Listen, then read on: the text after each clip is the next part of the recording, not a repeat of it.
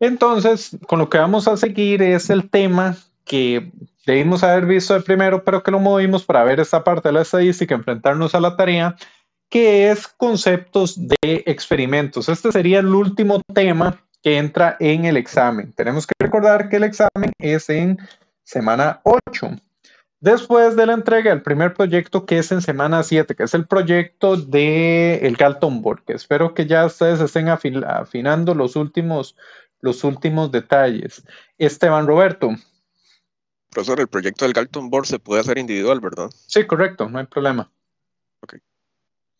Muy bien, entonces sí, después del proyecto del Galton, del Galton Board vamos a estar, estar trabajando eso. Entonces, en conceptos de experimentos, lo primero es que los apuntadores.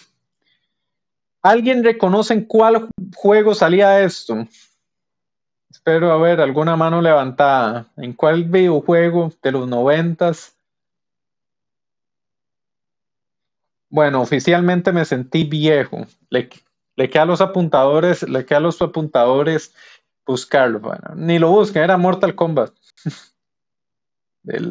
Los clásicos, los que eran en dos dimensiones. There's no knowledge, that, there is no power.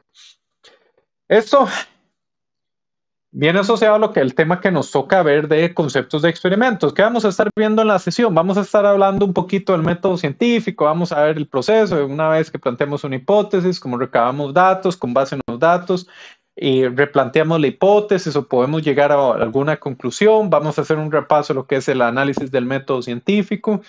Vamos a hablar de ciencia y pseudociencia, también vamos a hablar de hipótesis y experimentos, experimentos cuantitativos y cualitativos, estrategias de experimentación, un poquito de aleatorización y replicaciones, consideraciones éticas de experimento, experimentos de control de calidad y experimentos comparativos simples. Entonces, con lo primero que vamos a arrancar es con el método científico.